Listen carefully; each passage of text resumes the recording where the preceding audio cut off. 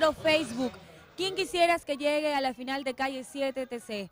Bueno, aquí está Karim Barrero en primer lugar, Luis Eduardo Culebra segundo lugar, tercer lugar, Ricardo Delgado, Julio Mamanova y Toño Abril.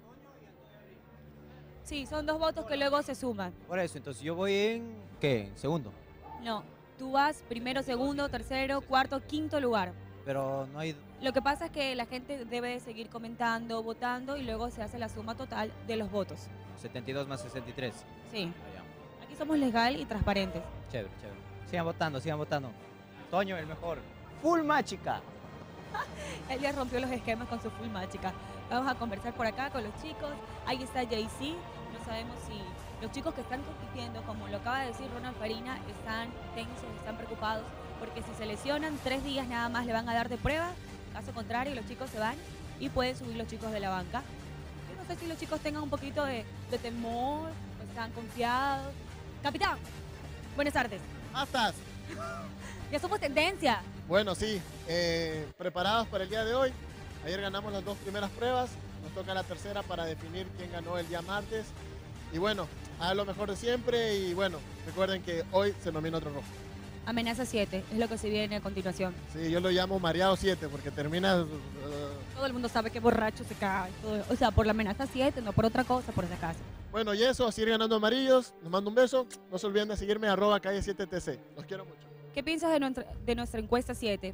Ahí el público está comentando, el público está comentando de que tiene ya sus favoritos y ahora con lo que les acaba de decir la producción y Ronald, que se lesiona, tres días y si no, chao, si no te recuperas.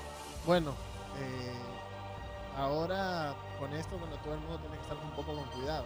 Eso no quiere decir que vas a dejar de, de seguir haciendo las pruebas fuertes. Pero bueno, esperemos que no haya ni un lesionado porque ahora parece que el que se lesiona se va porque lamentablemente ahora es así. Y bueno, a seguir dando de todo y veamos qué, qué pasa. ¿Y de temor, de, de- de miedo, de, de estar tenso? Solo que hay que tener un poco más cuidado para no lesionarse porque creo que nadie se quiere ir lesionado y que otro te reemplace y no haga las cosas como las haces tú. Si no, nadie sabe lo que tiene hasta que lo pierde. Imagínate que alguien se lesione tanto tiempo esforzándose y viene otra persona en la banca, claro, ¿no? Y sube. Bueno, esperemos que eso no pase y bueno, deseo suerte a todos los chicos en la competencia y sigamos con esto. Ya, mi capitán. Culebra. Dios, me lo veo él, ya, se sonrío. Un respiro. ¿Cómo estás? Yo muy bien, ¿tú? Ahí más o menos. Un poquito tenso. Un poquito recuperándome de las lesiones y ahorita con esa nueva noticia que nos dieron de, de que los lesionados no entendí muy bien. A ver, yo te explico. Lo que dijo Ronald, lo que le comentó el equipo de producción a él y a Jaime, es de que tres días van a tener ustedes como de oportunidad para que se recuperen. Si no, salen de la competencia, suben los chicos de la banca, el que tú decidas, y se queda ya definitivamente en la competencia. Es más o menos algo así. Nadie sabe lo que tiene hasta que lo pierde. Pero a mí me parece injusto eso, porque viene Mario, se lesiona al principio de la competencia, le dan 15 días cuando tuvo la caída. Viene el otro, se lesiona, le dan 15 días. Vengo yo, me lesiono ahorita primera vez en la vida y me salen con esto. Entonces, yo no sé, yo no entiendo qué tiro. Yo considero que, porque ya se acerca la final de Calle 7 de esa primera temporada, es por eso que son las reglas. No, no, no, no, no. A mí me parece que esto está mal. Yo no estoy de acuerdo con eso. ¿Cómo va con, con tu lesión en los brazos? Bueno, me dieron una semana. Mañana tengo que revisarme las ecografías y no puedo cargar pesos. No puedo cargar ni siquiera las compras del supermercado porque me puede, eh, ¿cómo se llama?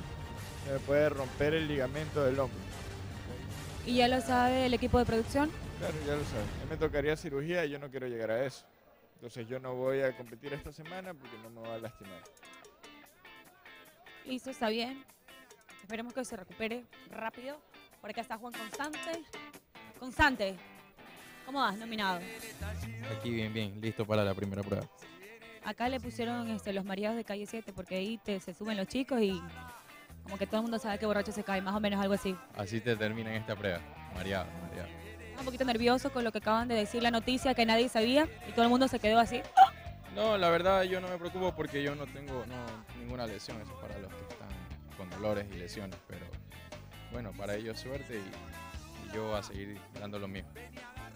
Gracias.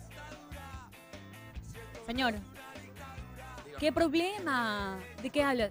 De, de los nominados. Estamos aquí poniendo a punto los nominados. Me encanta lo que pasa porque ahora sí la gente se va a comenzar a estresar. Ahora van Yo estaba así paradita. gritos.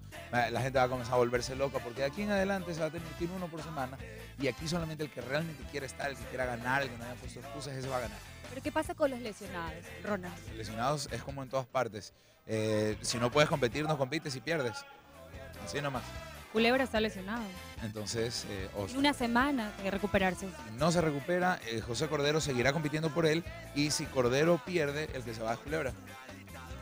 Wow. Ay, ay, ay. Mami, te mando un beso, te amo vieja.